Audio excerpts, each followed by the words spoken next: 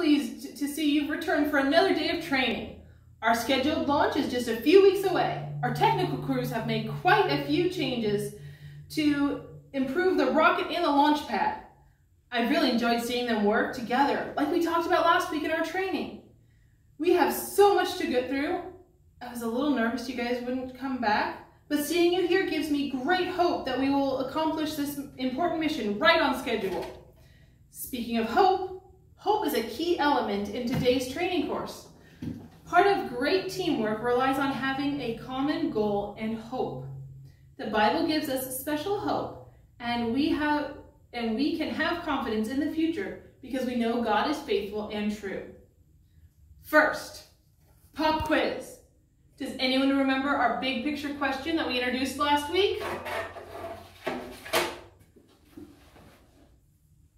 Well, let's say it together. How do we live while waiting for Jesus to come back? All right. Several of you gave me some strange looks when I explained this last time. Okay, I'm going to pretend you gave me strange looks. It doesn't appear to have much to do with our launch training, but it's more connected than you might think. Okay, who remembers the answer? The answer is we follow Jesus and tell everyone about him. Let's say it all together. We follow Jesus and tell everyone about him. Looking at our timeline, we can quickly review last week's training. We learned from Paul's letter to Philemon that we need to welcome one another as brothers and sisters in Christ and forgive as Christ forgave us. What an amazing foundation for teamwork. Today, our, focus tra our training focuses on hope. Hope is more than just wanting something to happen. Hope is confidence in the future because we know God is faithful and true. Let's look at God's word and see what he wants us to learn about hope. Today we're going to be in 1 Thessalonians 4, 13 through 5, 11. About 20 years after Jesus died on the cross and rose again, Paul traveled to the city of Thessalonica. The people there worshipped idols. Some of them even worshipped the Roman emperor. Paul told the people the good news about Jesus, and many people believed in Jesus. Paul started the church in Thessalonica, but some people did not like Paul or his teachings, and they forced him out of the city. Paul worried about the people in Thessalonica. They had not been believers for very long. So Paul sent his friend Timothy to see how they were doing. Timothy brought back good news. Even though the Thessalonians faced suffering for their faith, they did not give up. Paul wrote a letter to encourage the believers. He told them that Jesus will return someday. On that day, Paul said, believers will be freed from their suffering. This message gave them hope. Paul wrote to the believers at the church in Thessalonica to help them know what is true and to teach them what happened to friends who had died. The people gave the people could grieve with hope because Jesus died and rose again, God would bring with, bring with him those who had died if they trusted in Jesus. On the day that Jesus returns, the Lord himself will come down from heaven with a shout. Those believers who have died will be raised to life first. Then believers who are still alive will be raised up together to meet the Lord. We will live with him forever. No one knows when Jesus will come again. The day of the Lord the day of the Lord will come like a thief in the night when you do not expect it. So be ready. God has promised us eternal life. He has saved us through his son Jesus. Whether we are alive or dead when Jesus returns, he will bring us all home with him forever.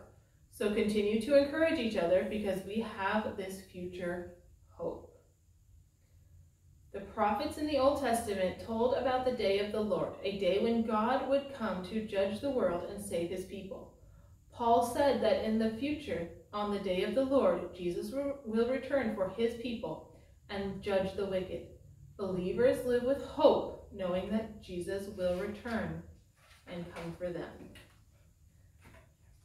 That's a pretty cool story. Hope is a pretty important word in there. It was mentioned, what, three, four, five times if something keeps being repeated, that means it's pretty important. All right, before we separate out, we're going to go over our key verse.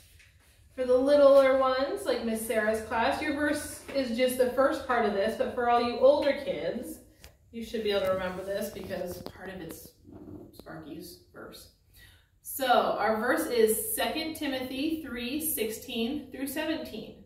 And it says, All scripture is God breathed, breathed and is useful for teaching, rebuking, correcting, and training in righteousness, so that the servant of God may be thoroughly equipped for every good work. 2 Timothy 3, 16 through 17. If you guys remember from last week, we talked about what all of those meant, teaching, rebuking, correcting, and training. We touched a little bit on the end, but how does it have, what does that have to do with hope? Well, if we're learning things, we have hope to get smarter, right? Same with rebuking. If we're being rebuked, that means we have the hope to get better. Correcting, again, we can hope that we will do better next time. So, we are to be thoroughly equipped. Hmm. If we're already thoroughly equipped, equipped, how can we have hope?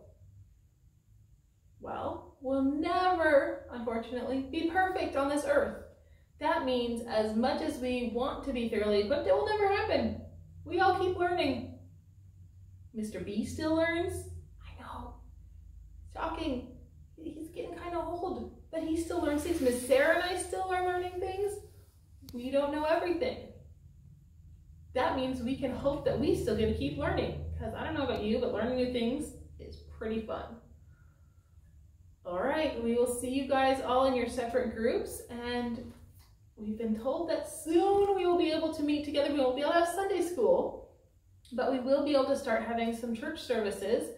So we might not be able to see all of you guys at church service, depending on what your families choose, or if it's your week to be at church or not, but we will get to be seeing some of you guys pretty soon. So we're excited.